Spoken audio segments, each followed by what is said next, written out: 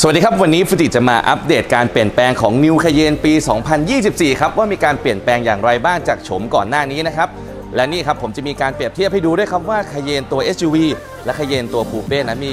ข้อแตกต่างอย่างไรบ้างนะครับ เพื่อจะได้แมทช์กับความต้องการและความสนใจของเราทุกคนนะครับ เดี๋ยวเราจะไปดูกันเลย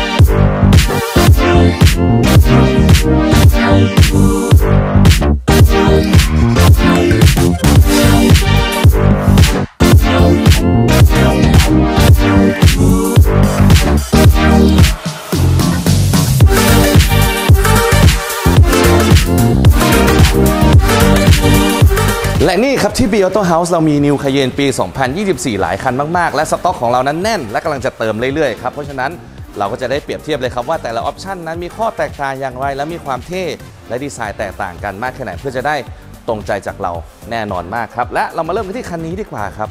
New Cayenne ของเรานั้น ข้อแรกที่แตกต่างจากตัวโฉมก่อนหน้านั่นก็คือ แบตเตอรี่นั้นได้เพิ่ม capacity ครับจากเดิมนะครับวิ่งไฟฟอร์ล้วนได้ประมาณ 45 กิโลเมตรใช่ไหมครับแต่ว่าตัวใหม่นั้นวิ่งได้เพิ่มขึ้น เกือบ 90 กิโลเมตรเลย เพราะฉะนั้นโอ้โหวิ่งในเมืองคือสบายแน่นอนครับ ไม่ต้องใช้น้ำมันเลยทีเดียวนะครับ แล้วก็นี่ฮะตัวหน้าตาของมันไฟหน้าได้เปลี่ยนแปลงไปแล้วนะครับ มีความซีกแล้วก็มีความเท่มากยิ่งขึ้นนะครับ ที่เห็นได้ชัดนะครับก็คือกันชนหน้านะครับ มีการเปลี่ยนแปลงมากยิ่งขึ้น ตัวหน้าของคาเยนเนี่ยมันจะดูดุดันแล้วก็เท่แล้วก็ลงตัวมากยิ่งขึ้นนั่นเองครับ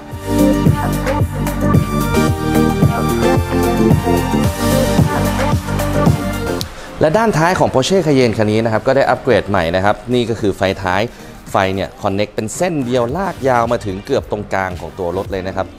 นี่ครับทำให้ยามค่ำคืนของตัวรถ Cayenne คันนี้เนี่ยมีเอกลักษณ์มากยิ่งขึ้นทำให้เวลามีใครมองที่ท้ายรถของเรานั้นมีความรู้สึกถึงความสวยงาม แล้วก็เท่มาก ๆ อย่างแน่นอนครับ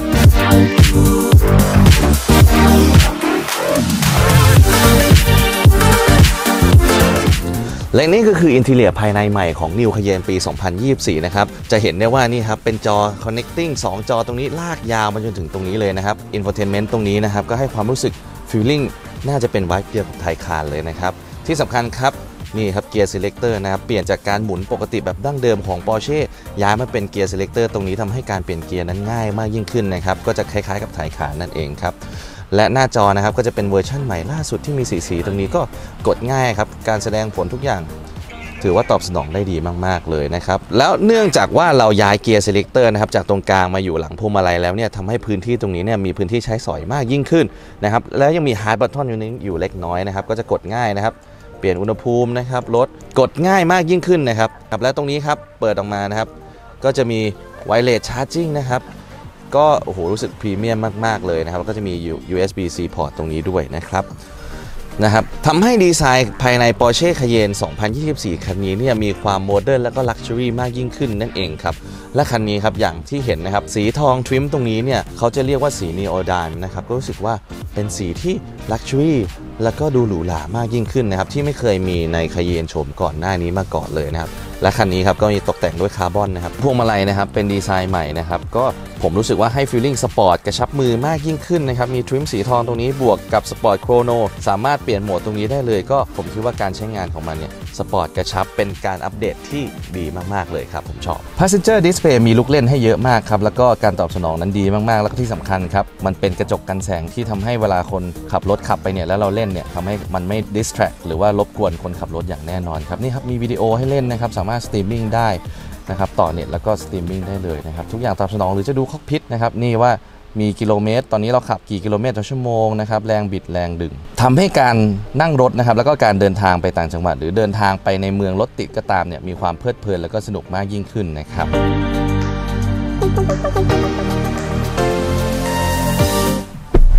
และนี่ก็คือพื้นที่ด้านหลังของ Cayenne ตัวใหม่ปี 2024 นะครับ จะเห็นได้ว่า Headroom แล้วก็ Legroom ของผมเนี่ยเหลือ ๆ เลยนะครับ ผมรู้สึกว่า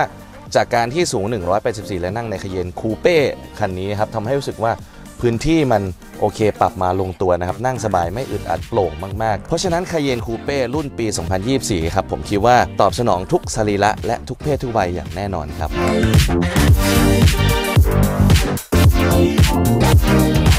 และก็มาถึงคำถามที่เราจะต้องคิดอยู่ในใจตอนนี้ใช่ไหมครับว่า เราจะต้องเลือกซื้อ Cayenne SUV ที่มีความ practical